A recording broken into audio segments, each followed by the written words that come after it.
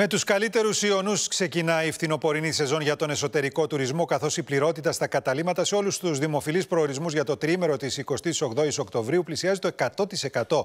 Ενδιαφέρον είναι ότι η ζήτηση εκδηλώνεται όχι μόνο για τις κοντινές στην Αθήνα περιοχές, αλλά και για πιο απομακρυσμένες ορεινές τοποθεσίες. Ντεμπούτο για τη χειμερινή σεζόν το φετινό τριήμερο της 28ης Οκτωβρίου, το οποίο κινείται ήδη με υψηλές πληρότητες. Την 28η υπάρχει 100% πληρότητα. Ε, το μεγαλύτερο ποσοστό είναι Αθήνα-Θεσσαλονίκη, που περιμένουμε. Οι ξενοδόχοι της Λεμνής Πλαστήρα περιμένουν το τριήμερο της 28ης να υποδεχθούν τους νέους επισκέπτες. Σύμφωνα με τους ίδιους, η πληρότητα φτάνει ως και το 100%. Είναι κάποια δωμάτια ελεύθερα, αλλά έχουμε όμως ε, ζήτηση μεγάλη. Είναι πρωτοφανές αυτό. Φέτος έχει πάρα πολύ κόσμο. Για ποιο λόγο πιστεύετε, ε, Ευνοεί και ο καιρός. Ε, ήταν ο κόσμος από τον κορονοϊό, εγκλεισμένος μέσα δύο χρόνια. Πιστεύω ένας λόγος είναι αυτός.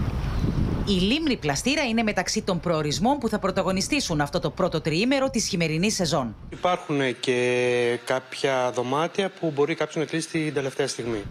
Σε απόσταση αναπνοής από την Αθήνα, η πόλη του Ναυπλίου, που την επιλέγει πολλοί κόσμος, όχι μόνο τα τριήμερα, αλλά όλα τα Σαββατοκύριακα. Το τριήμερο της 28η Οκτωβρίου, όντως, είναι το πρώτο τριήμερο μέσα στη χρονιά που μας ξαφνιάζει. Το Ναύπλιο έχει κρατήσεις σε πολύ υψηλό ποσοστό εδώ και 1,5 μήνα. Αυτό είναι πρωτόγνωρο για όλη μας τη χρονιά.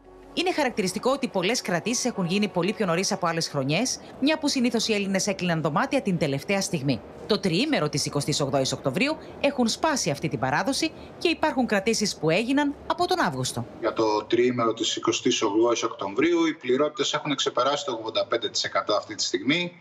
Μένουν πολύ ελάχιστα δωμάτια για κάποιον ο οποίος θα το αποφασίσει τελευταία στιγμή.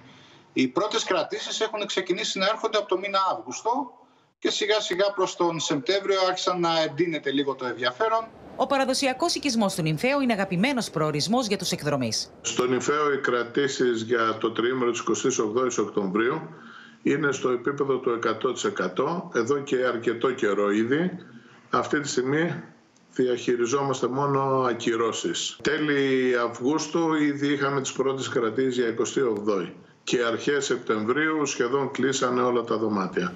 Ξεχωριστή περίπτωση είναι η Ήπειρος, η οποία εξελίσσεται σε 12μηνο προορισμό με υψηλές πληρότητες για το τριήμερο της 28η Οκτωβρίου. Το τριήμερο της 28η Οκτωβρίου είμαστε fully booked. Ε, η περιοχή των Ιωαννίνων ε, πραγματικά έχει ένα ποσοστό στο 100%. Ε, κυρίως Έλληνες είναι αυτοί που θα επισκεπτούν την περιοχή και οι κρατήσεις ξεκίνησαν ήδη από τον Αύγουστο-Σεπτέμβρη. Το τριήμερο της 28ης Οκτωβρίου είναι το πρώτο crash test και μάλιστα άκρος θετικό για τη χειμερινή τουριστική σεζόν. Και τα ακόμη καλύτερα νέα έρχονται από την Τράπεζα της Ελλάδος. Ε, σύμφωνα με τα στοιχεία αυτά, τον Αύγουστο τα τουριστικά έσοδα έσπασαν κάθε ρεκόρ. Έφτασαν, Αντώνη Κριτικέ, τα 4 δισεκατομμύρια ευρώ. 4 δισεκατομμύρια 400 χιλιάδες. Ε, Γιάννη, αυτά είναι τα πρόχειρα, τα προσωρινά στοιχεία της Τράπεζας της Ελλάδος και μιλάμε για αύξηση 44% σε σχέση με την περσινή χρονιά που ήταν 3,1 δις. Και επειδή φαντάζομαι θα με ρωτήσεις για το 19 τη σύγκριση. Ε, αυτή ήταν η χρυσή χρονιά. ναι, νομίζω θα σπάσει και αυτό το ρεκόρ όταν θα βγουν τα επίσημα και τα οριστικά στοιχεία. Το, το 19 ήταν 4,1. Άρα είμαστε πάρα, πάρα πολύ κοντά για να σπάσουμε και αυτό. Τώρα, πολύ σημαντική η αύξηση που βλέπουμε και στην μέση δαπάνη αναταξιδιώτη. Πώς αξόδεψε δηλαδή ο κάθε ταξιδιώτη τον Ιούλιο. Ήμασταν φέτος στα 705 ευρώ αναταξιδιώτη από τα 652 που ήμασταν τη χρυσή χρονιά του 2000. Α, το 2021, το 2021 συγγνώμη, και το 2019 Συνέπεινε σε αυτό που βλέπουμε ότι ήρθαν και πολλοί Αμερικανοί φέτος που ξοδεύουν, Σωστά. βάζουν το χέρι στην τσέπη. Σε ευχαριστούμε, Αντώνη.